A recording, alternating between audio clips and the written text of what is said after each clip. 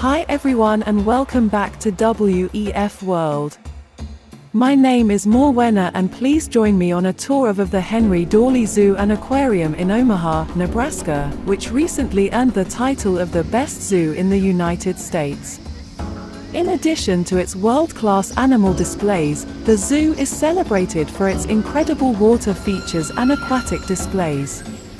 At the heart of the zoo, you'll find a spacious lagoon where various waterfowl like ducks, swans, and geese find a home. This tranquil water area not only enhances the zoo's natural surroundings but also serves as a habitat for both local and exotic bird species.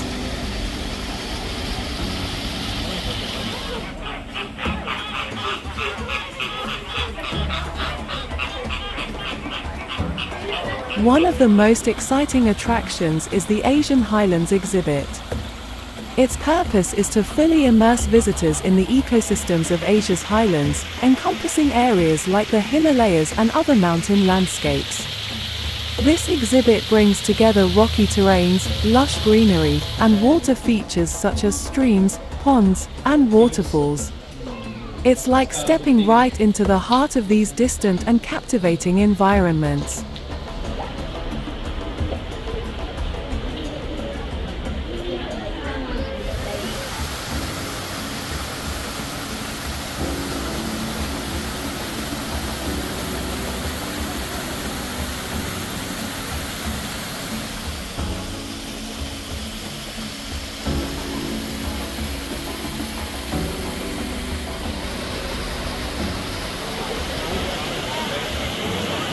The Lied rainforest meticulously recreates the ambience of a tropical rainforest, complete with waterfalls that cascade and streams that gently babble.